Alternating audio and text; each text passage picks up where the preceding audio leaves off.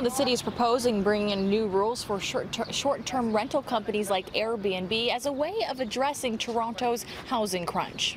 Oh The proposed regulations would limit property owners to only renting out their primary residence on sites like Airbnb. City staff say this would free up 3,200 properties for longer term rentals. Mayor John Tory says change is needed because the current rules are making it harder for people to find places to live it is taking housing off the market that might otherwise be available for long-term uh, permanent renters, as it were, and that's a problem for us.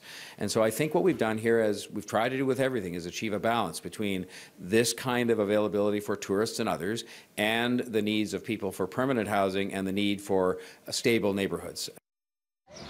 Some of the other regulations being recommended include licensing short-term rental companies like Airbnb, creating a short-term rental registry, and changing zoning bylaws to create new land use classification for short-term rentals. Activists who had been calling for tighter short-term rental controls welcome the changes proposed today. I think um, it, it looks really promising. Um, and I think it's, a, it's a, the sort of regulation that could be at the cutting edge of home sharing regulations in North America um, that is sort of based on the idea to put every available rental unit back on the long-term rental housing market while not, you know, sort of limiting people's ability to share their place while they go on vacation or rent out a spare room.